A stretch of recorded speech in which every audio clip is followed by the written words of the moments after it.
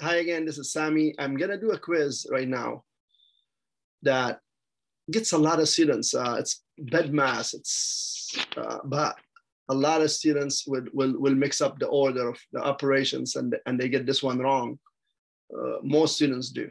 So um, just watch this and uh, make sure that if you ever get a question like this on a test, to know how to work through the order of operations, okay?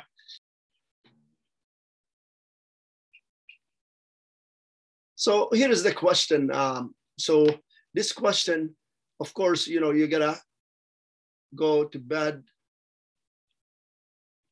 BEDMAS. So basically, brackets first, and then exponents, which we don't have here, but the next thing is division, multiplication,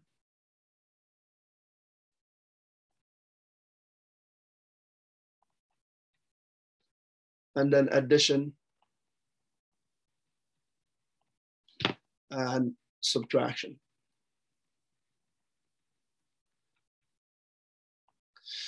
So with this question right here, if we look at it, we know we have to do brackets first, and we're gonna get 27 divided by three. And inside the brackets, which we have to do first, we get nine. But now, the confusion for a lot of students, does this give me one or does it give me an 81? Do I go three times nine is 27, 27 divided by 27 gives me one? Or do I go 27 divided by three is nine, nine times nine is 81. So these are the two options that a lot of students struggle with and uh, uh, they don't know which is gonna give them the right answer. Here, it's division and multiplication and then addition and subtraction. But what, what's the order here? The order when it gets to this stage here. So let me just rewrite this. So here is 27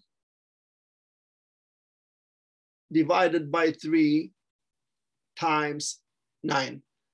So a lot of students, they think brackets, now we have brackets here, we must do this first. No, that the brackets here just indicate this is multiplication. Now, what we do though, when, when it, it's like this, how, how do we proceed? Division and multiplication here doesn't mean division first and multiplication first, just means division and multiplication, they come after exponents. But what's like, how do we do them? What we should we do here? Here we tell students proceed from left to right. So that's how you proceed. So therefore you go from left to right, which means you do the 27 divided by three first, which gives you nine times nine. And now nine times nine is 81. And that's your right answer. The red flag or the wrong answer will be to say is 27 divided by three times nine is 27. And that gives me one that would be wrong. So that's the, the right answer. So you proceed from left to right. When you get to this stage right here, you, you proceed from left to right. So you gotta do this one first right here.